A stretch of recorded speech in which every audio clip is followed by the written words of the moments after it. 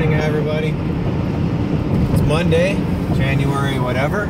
Melanie has my camera, so I can't tell you the date. I think it's the 8th. Uh, we are heading back to New York. We had a nice family time. We didn't do much recording. Uh, we didn't do any recording. we just had a peaceful time with the family. Grandma's doing well. She was happy to see us.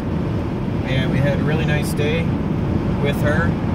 And it was really just a peaceful, relaxing time. So honestly, it would have been absolutely boring to show you a bunch of people sitting around in a chair visiting. it would it was nice for us, but it would have been boring for you.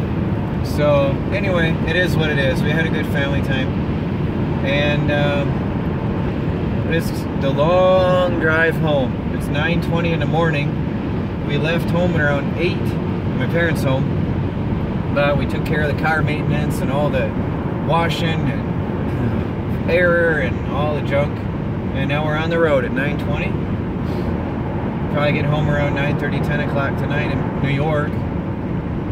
What do you think, Melanie? How did, how did you enjoy the time? I really enjoy. Melanie's quiet because she's sad. Oh, I'm sad.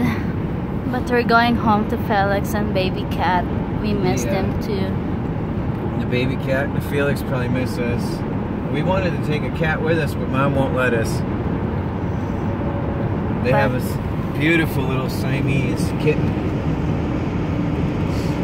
So we're gonna run into some snow. Heavy snow in Ohio.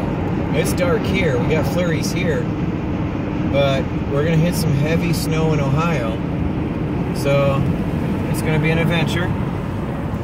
Going back to the off-grid homestead. So we're gonna get this video up to you guys, and uh, we'll see you later. See you.